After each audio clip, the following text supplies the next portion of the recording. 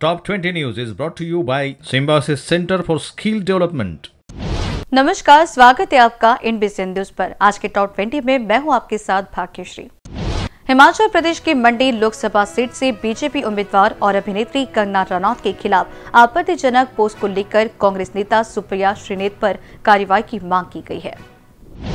लोकसभा चुनाव के लिए बीजेपी ने पांचवी लिस्ट जारी कर दी है। इसको लेकर रामदास आठवले ने कहा है कि बीजेपी ने सभी क्षेत्रों के लोगों को टिकट दिया है। अरविंद केजरीवाल की गिरफ्तारी के खिलाफ आपने आज प्रधानमंत्री आवास के घेराव का ऐलान कर दिया है। हालाँकि दिल्ली पुलिस ने आम आदमी पार्टी को किसी तरह की प्रोटेस्ट की परमिशन नहीं दी है। मध्य प्रदेश की छिंदवाड़ा लोकसभा सीट से कांग्रेस प्रत्याशी नकुलनाथ आज नामांकन दाखिल करेंगे। नकुलनाथ पूर्व मुख्यमंत्री कमलनाथ की उपस्थिति में अपना नामांकन दाखिल करेंगे।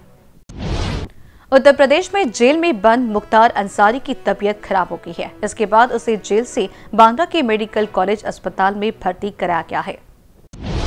न्यूयॉर्क के एक न्यायाधीश ने सोमवार को डोनाल्ड ट्रंप के आपराधिक मामले में 15 अप्रैल की सुनवाई की तारीख तय की है, जिससे यह संभावना बढ़ गई है कि पूर्व राष्ट्रपति को कम से कम एक फैसले का सामना करना पड़ेगा।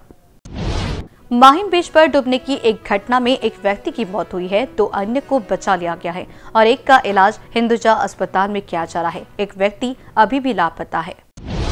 गाजा में तत्काल संघर्ष विराम को लेकर प्रस्ताव पास हो गया है। इसके बाद इसराइल के प्रधानमंत्री बेंजामिन नेतन्याहू ने एक उच्च स्तरीय प्रतिनिधि मंडल की वॉशिंगटन यात्रा रद्द कर दी है। महाराष्ट्र में देवेंद्र फडणवीस ने लोकसभा चुनाव को लेकर बड़ा दावा किया है। उन्होंने कहा कि पहले चरण में, पूर्वी विदर्भ में होने वाले चुनाव में महायुति सभी सीट पर जीत हासिल करेगा।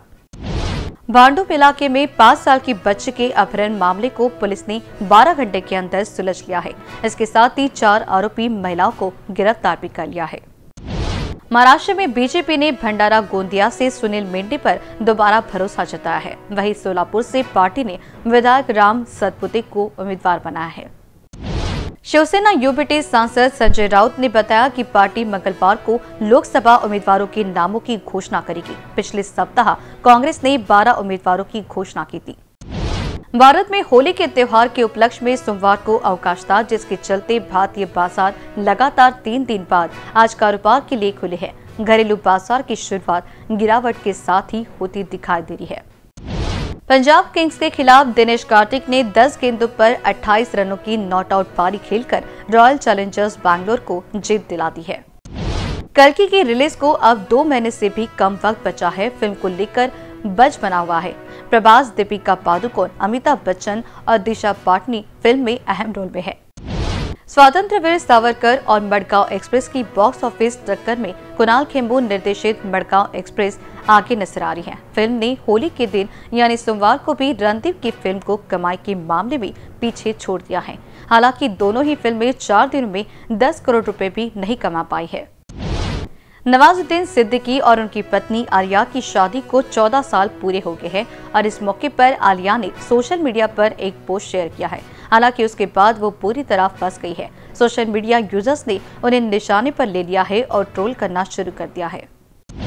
साउथ सिनेमा की फ़िल्म हनुमान ने सिनेमाघरों में ज़बरदस्त भौकाल काटा था। इस फ़िल्म ने बॉक्स ऑफ़िस पर 300 करोड़ से ज़्यादा की कमाई कर ली थी। अब कुछ ऐसा ही जलवा ओटीटी पर दिख रहा है। दो प्लेटफॉर्म के बाद अब ये फ़िल्म एक और ओ ऐप पर रिलीज़ होने जा रही है।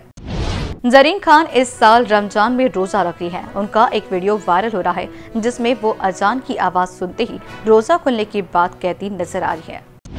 दिल्ली सरकार में मंत्री सौरभ भारद्वाज ने कहा है कि हॉस्पिटल में मुफ़्त टेस्ट न हो पाने से केजरीवाल परेशान है।